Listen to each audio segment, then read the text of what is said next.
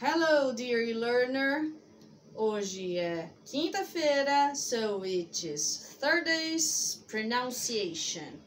Dica de hoje: relaxed pronunciation. Quando?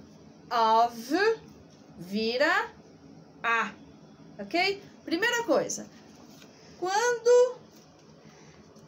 Já essa palavrinha of tem essa pronúncia aqui, of, ok? Porque of é essa palavrinha aqui, double F, ok? Então, essa aqui tá fora da nossa dica de hoje, ok? Estamos aqui, ó, of, que vira a, alright? Vamos a alguns exemplos. Vou lá aqui, ó.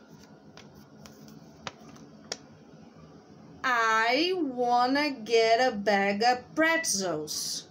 Ok? Esse a é a mesma coisa que of. Mas em relaxed pronunciation we say I wanna get a uh, I wanna get a bag of pretzels. Outra. I've got plenty of money. Esse a indica of, mas em spoken, spoken relaxed pronunciation of é a.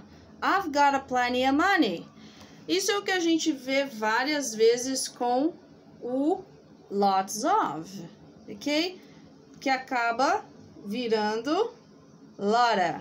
É o que acontece quando a gente fala I've got a lot of money, a lot of love, a lot of time, ok? Essa é a dica de hoje.